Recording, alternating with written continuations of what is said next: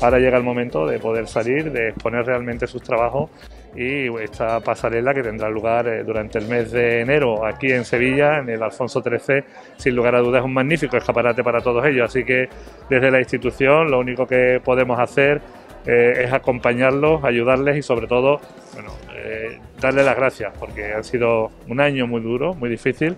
y afortunadamente en Andalucía sigue habiendo mucho talento, la moda flamenca